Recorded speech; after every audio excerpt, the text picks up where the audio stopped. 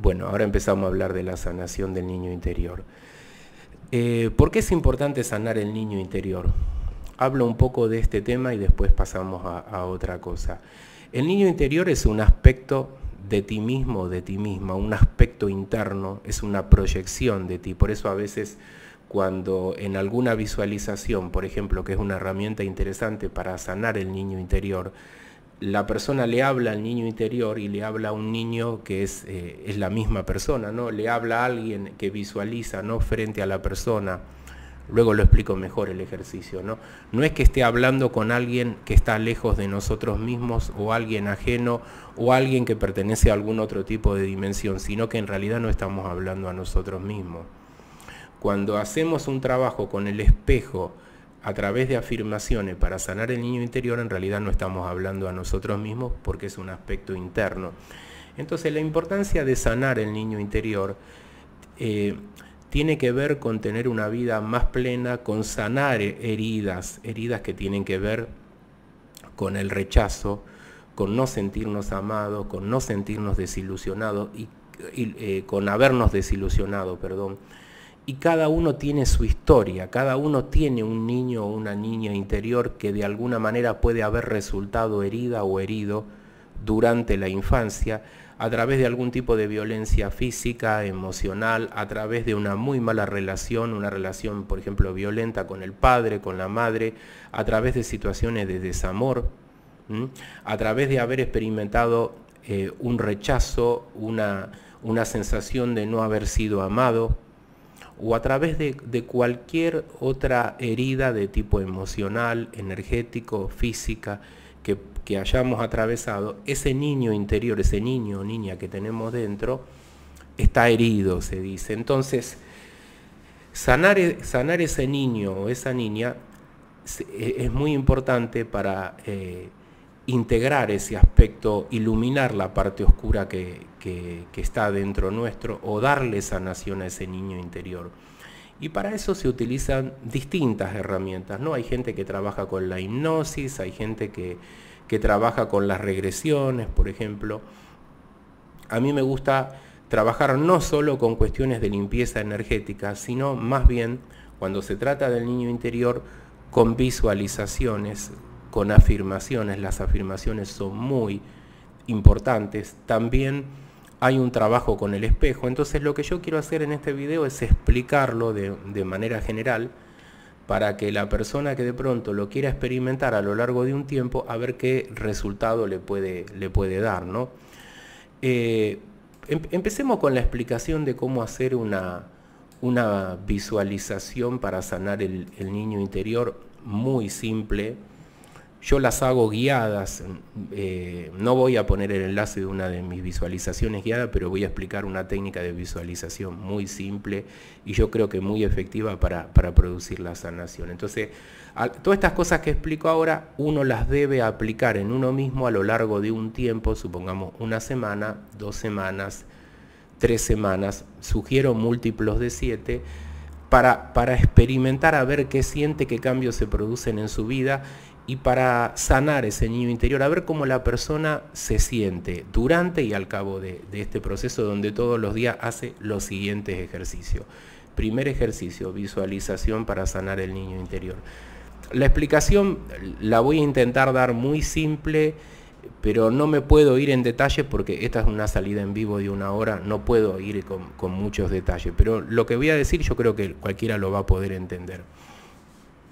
Primero, Hoy es el primer día que vos haces una visualización para sanar el niño interior. Por lo tanto, lo ideal es crear un determinado clima en el lugar donde vos llevas adelante la, práctica de, a ver, perdón, perdón, ¿eh? porque está un poquito complicado con todas las cámaras acá transmitir crear un clima. Crear un clima significa, en el lugar donde vos vas a hacer la primera visualización, podés bajar las luces, luces tenuas, podés poner una veladora.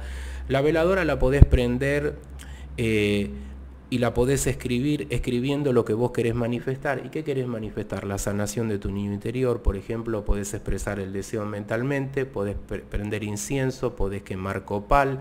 O sea, crear un clima de buena vibración en el lugar donde uno va a practicar este, este ejercicio, esta herramienta. O puedes no crear ningún clima y simplemente ir a la visualización, que en definitiva es lo más importante. La visualización es sentado en flor de loto en el piso, sino en una silla o en cualquier otro lugar, espalda recta. La respiración siempre es nasal. Entonces lo primero es sintonizar. Entra, entra el, el aire hacia tu cuerpo, sale el aire siempre por la, por la nariz Da la orden a tu cuerpo que se relaje, que se calme, que baje la tensión. Eh, decile a tus hombros que, se relajen, tu rostro se debe relajar, los ojos cerrados, boca cerrada, la lengua en el paladar. Son todos pequeños detalles. ¿eh? Entonces yo te diría lo siguiente ahora, ¿no? Una vez que vos sintonizas, cada uno tiene su tiempo para sintonizar. Algunos necesitan 30 segundos, otras personas 3, 4, 5 minutos. En este momento y, esto lo tenés que pensar antes, volá con tu imaginación a un momento de felicidad de la infancia, un momento de felicidad de la infancia. Supongamos que yo cierro los ojos y lo hago ahora, entonces automáticamente yo volvería al año 1978-79 al lugar donde yo me crié caminando con mi mamá a la orilla del mar. Una tarde de verano, el sol en el medio del cielo, el cielo despejado, eh, una situación de felicidad, de plenitud, de alegría. Si es posible, una, una situación que despierte eh, el amor universal o la felicidad simplemente por estar vivo. O sea, ese recuerdo tiene que generar, activar alguno de estos sentimientos. Supongamos, como me pasa a mí, ¿no? la felicidad simplemente por existir. Entonces empezar a rememorar el recuerdo, sentí que volviste en el tiempo para atrás, imagínate tu cuerpo de niño, de niña, imagínate la situación, supongamos en tu cumpleaños recibiendo un regalo, el recuerdo que sea, pero visualícenlo, experimentenlo y hay que visualizarlo con detalles porque la idea es despertar las mismas emociones y sentimientos de ese entonces. Supongamos que vos lográs despertar una, alegría, una sensación de felicidad, de plenitud, solo por estar vivo porque pasaste una tarde mágica hace 15 años, 20 o 40 como yo. Entonces, soltá el recuerdo y quédate únicamente con los sentimientos y en todo caso con las emociones que vos experimentás. O sea, quédate con la alegría, podés sonreír, ojos cerrados. La sensación de alegría llévala a tu rostro. Imagínate que esa alegría o esa felicidad o amor universal o plenitud, la que ustedes conecten, ¿no? Está sobre tu rostro. Puede ser que sientas un zumbido, que sientas eh, cosquillas en el rostro, en la piel, electricidad, calor, no sé, puede haber muchas sensaciones. Unos segundos en el rostro después que baje hacia el chakra del corazón. Chakra del corazón es donde está esta medalla. Imagina que acá hay un centro energético que se llama chakra del corazón. Imagina que esta alegría está en el chakra del corazón. Ahora es muy importante sentir, no tanto visualizar.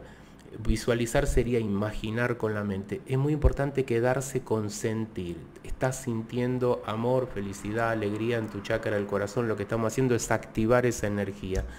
Al cabo de un rato puede ser que vos sientas calor, que es lo más común eh, toda clase de sensaciones puede haber. Las sensaciones a veces ayudan a, hacer esto con más fe, pero no, necesariamente tiene que haber sensaciones. Entonces, con los ojos cerrados, ahora, una vez que activaste tu chakra del corazón, yo lo que te pido que ahora usando la visualización convoques a tu niño interior. O sea, visualizate vos mismo como en forma de ese niño interior. Entonces visualizate otra vez como un niño pequeño, una niña pequeña, aproximadamente entre 6, 7 y 8 años. Imagínate que está frente a ti, vos cerrás los ojos, no, no abran los ojos en este ejercicio. Eh, vayan a los detalles, cómo eran tus ojos, tu nariz, tu expresión, tu expresión corporal, no solo tu expresión facial. Ese niño que eres tú está sonriendo.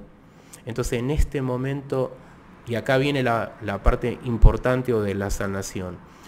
Visualizás que un rayo de luz verde esmeralda, que es el color del chakra del corazón, sale de tu chakra del corazón y envuelve. ¿A, qué envuelve, Rodrigo? En realidad te envuelve a ti mismo, pero estamos eh, trabajando con una proyección de ti que es el niño interior. Envuelve al niño interior en esa luz. Y entonces tú tienes frente a ti el niño interior que eres tú cuando tenías entre 6, 7, 8, 9 años. Está envuelto y sonriente por esa luz verde esmeralda, verde esmeralda, ¿no? Alguno que que visualice o sienta otro color está muy bien, ¿no? Hace unos días una persona me dijo, mire, yo no lo puedo hacer con una luz violeta porque era otro ejercicio que estábamos haciendo. No sé, naturalmente me sale una luz amarilla. Seguí tu intuición. Si vos ahí sentís que no es la luz de color verde, es violeta, fantástico. Si es blanca, es blanca. Si es amarilla, es amarilla. No hay problema, todo tiene un porqué.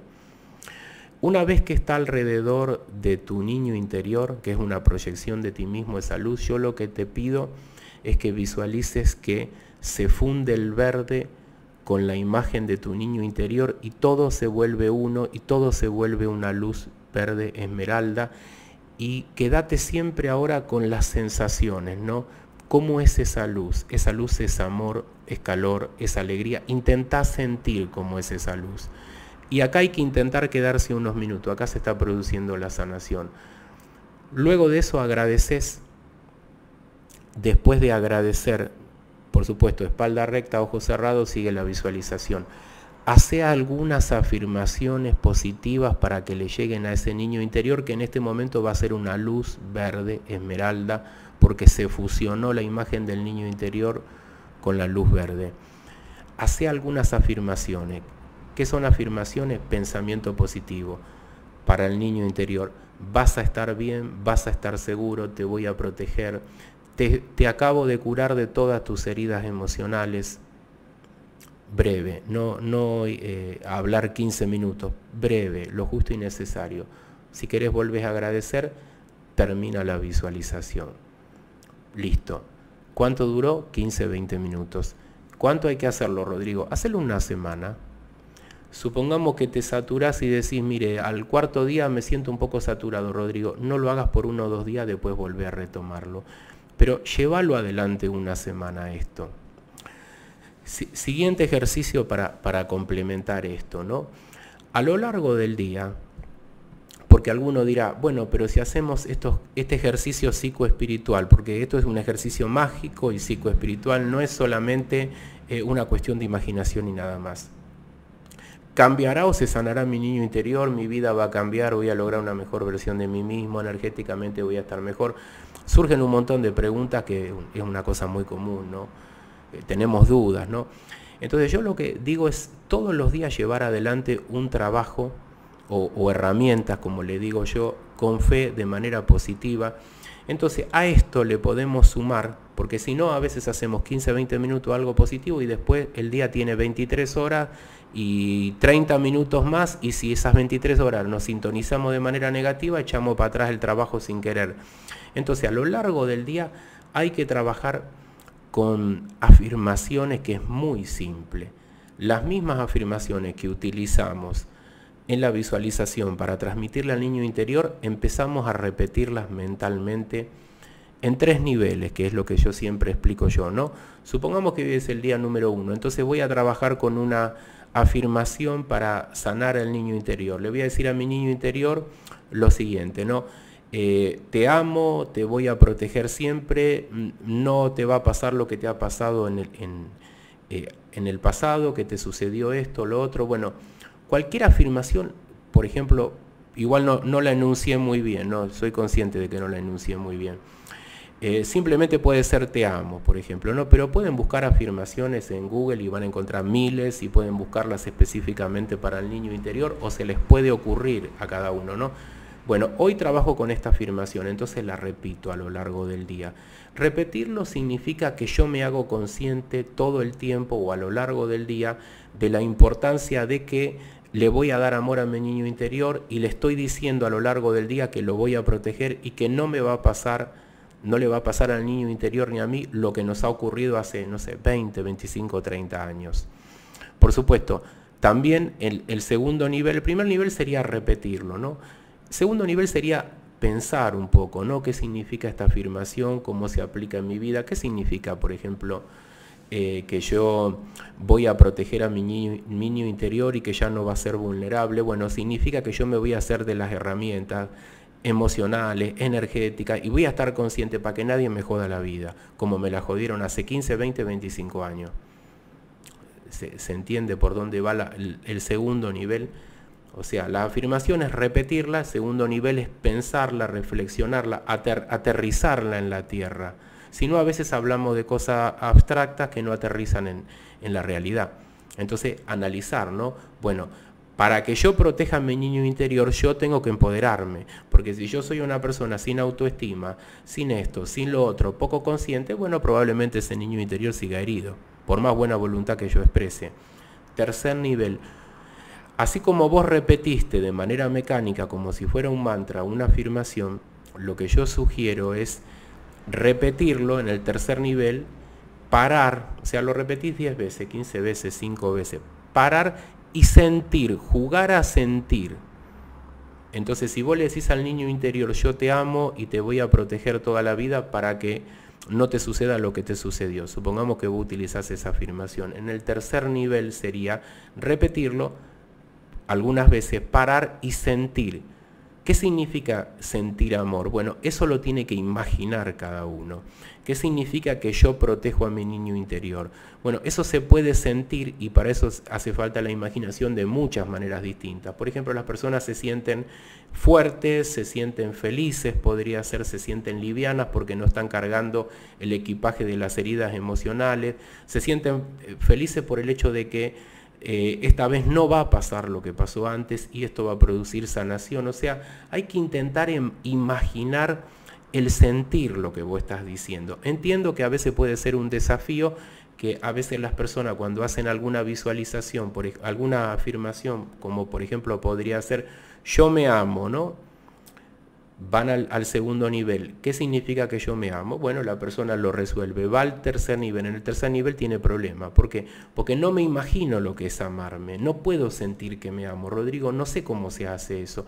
Bueno, jugá, imaginalo, imaginalo, imagina cómo es amarte, ¿no? Entonces, segundo día, buscas otra afirmación. Puede ser una afirmación no solo hacia el niño interior de protección, puede que sí, pero también puede que no. Podría ser una afirmación que tiene que ver con empoderarme, yo soy abundancia, amor infinito, por ejemplo, ¿no? Y así sucesivamente vas trabajando con distintas afirmaciones. Entonces, lleven adelante un plan así a lo largo de una semana. Ahora, algunas tareas adicionales. Sanar al niño interior también se pueden utilizar algunas herramientas como permitirse buscar una actividad para jugar. Porque los niños les gusta jugar, ¿no? Entonces ese niño interior tuyo quizá necesita jugar, necesita expresar gratificación, placer a través del juego. Algunas personas dirán, eh, sí, no hay ningún problema, Rodrigo, pero resulta que la última vez que jugaron fue hace 30 años atrás y no, y no se permiten jugar. No hay un momento o un tiempo en la vida dedicado a jugar, a ser felices. No, todo es tiempo dedicado a ganar dinero, a hacer esto, a hacer lo otro, a levantarse temprano, ir para acá, para allá. Todos son obligaciones. ¿Cuánto hay de juego? Nada.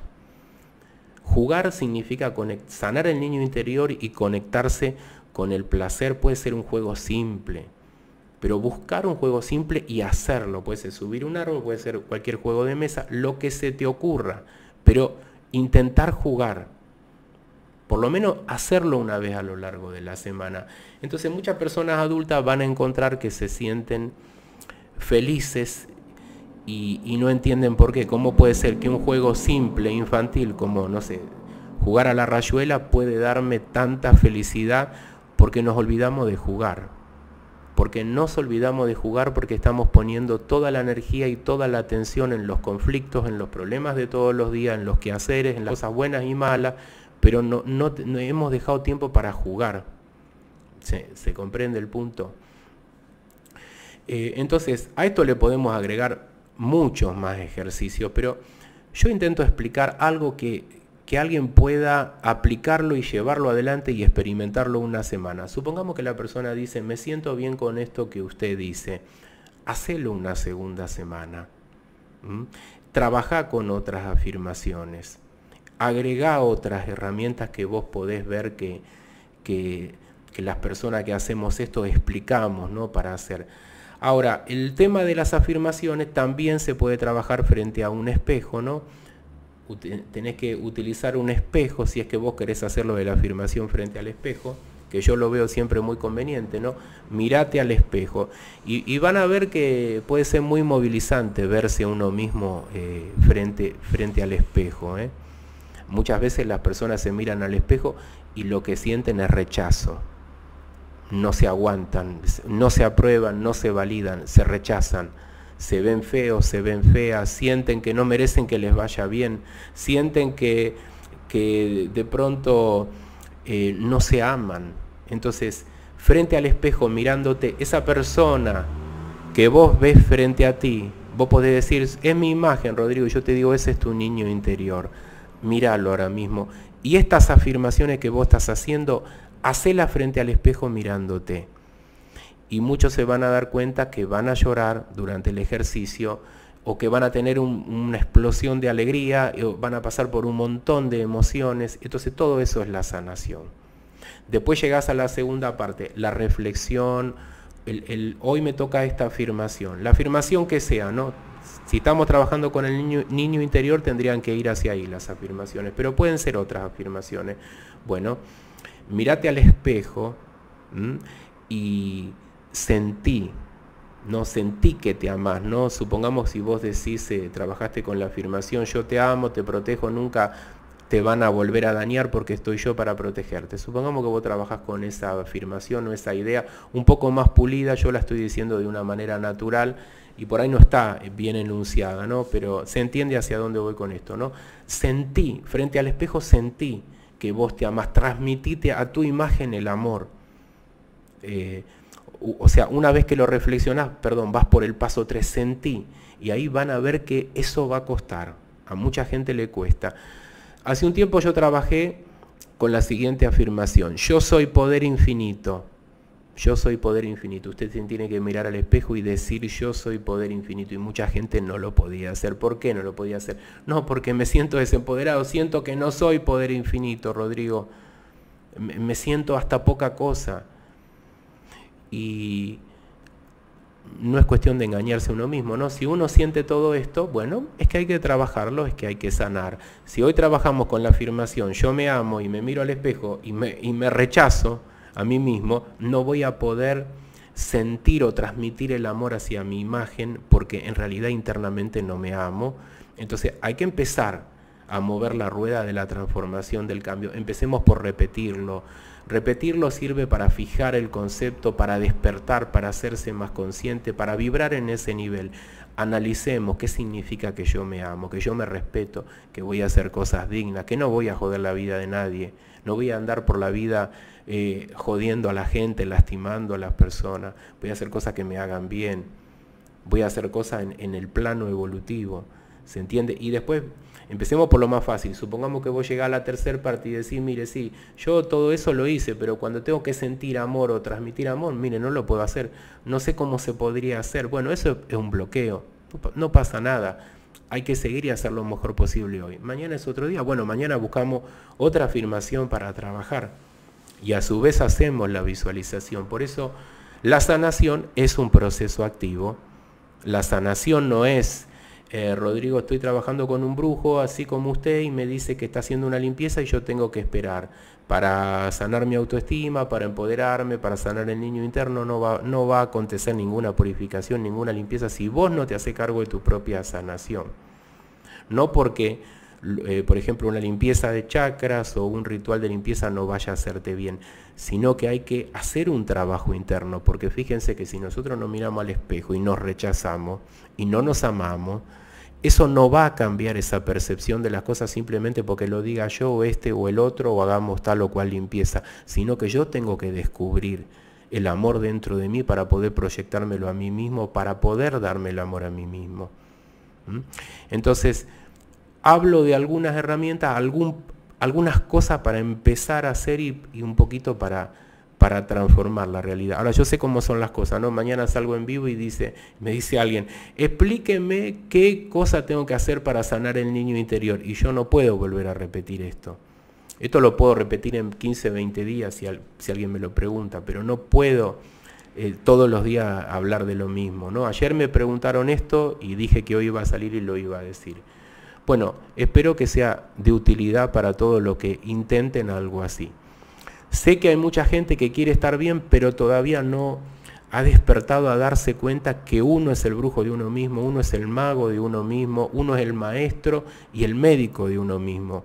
Y los que hacemos este trabajo facilitamos procesos, hacemos rituales, trabajamos la energía, pero si usted no se abre y no se compromete, no van a ocurrir estos cambios que estoy explicando yo, no se va a sanar el niño interno ¿Se entiende? Uno tiene que tomar cartas en el asunto. Es como el que va a pescar. El que va a pescar se tiene que mojar, punto. No se puede mojar, no se puede pescar si uno no está dispuesto a mojarse.